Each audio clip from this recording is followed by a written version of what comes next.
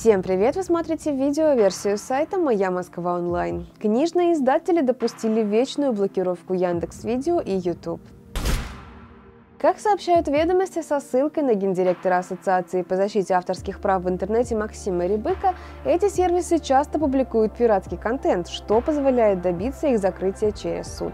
Так, в начале месяца Мосгорсуд потребовал изъять из платформ книгу «Задача трех тел» Люцисины. Однако ни YouTube, ни Яндекс.Видео этого не сделали.